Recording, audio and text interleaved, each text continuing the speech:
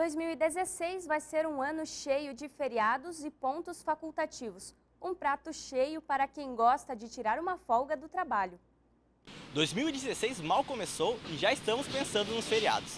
Então, se você é um daqueles que gostam de tirar uma folguinha no meio do ano, 2016 vai ser um bom ano para isso. Serão oito feriados nacionais, quatro municipais e nove pontos facultativos. Apenas dois feriados vão cair em finais de semana o Dia do Trabalho em 1 de maio e o Natal 25 de dezembro.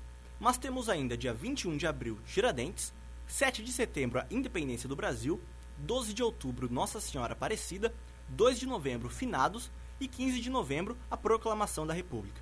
Os feriados municipais começam em 25 de março com a Paixão de Cristo, 26 de maio Corpus Christi, 10 de junho aniversário do município, 24 de junho dia do padroeiro da cidade, São João Batista foram decretados pontos facultativos os dias 8 e 9 de fevereiro, Carnaval, e 10 de fevereiro, quarta-feira de cinzas, até o meio-dia.